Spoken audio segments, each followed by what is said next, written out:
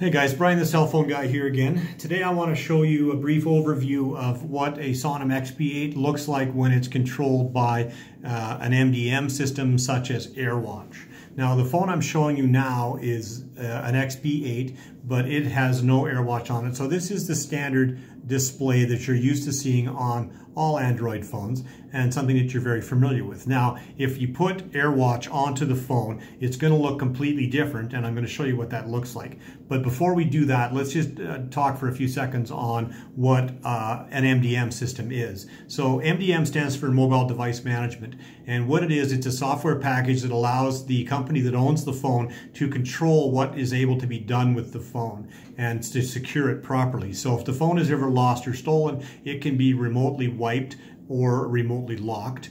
Um, and it also lets the uh, company decide which uh, functions of the phone are available. And in this particular example, uh, this company has decided that YouTube is not a work function that's required, so it's restricted, and as a result, the end user can't access it.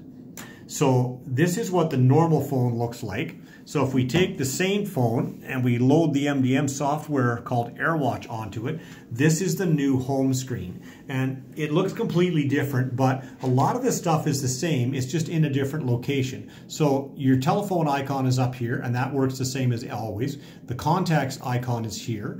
Um, the clock, the camera, messages, things like that. Uh, but a couple of things that are a little bit hidden uh, in this down drop down arrow here, we're going to see that this is where the settings menu is, which is the gear, and this is where all the settings are located.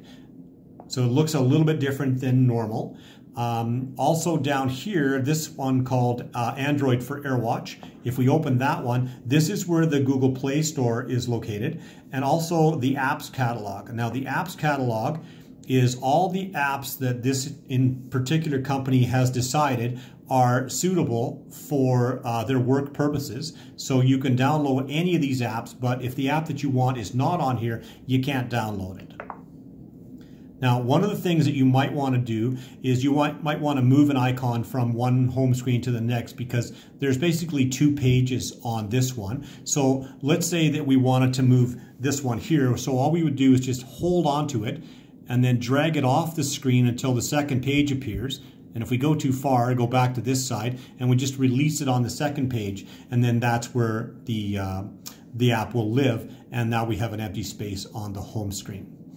So that's kind of an overview of what AirWatch does to a phone. So it may look completely different, but once you take a few minutes to get used to it, uh, you'll find that it functions just the same way as any other Android phone. None of the prime functions such as power and volume and backup and push to talk and things like that have changed in any way. It's just the look of the screen and where certain apps are.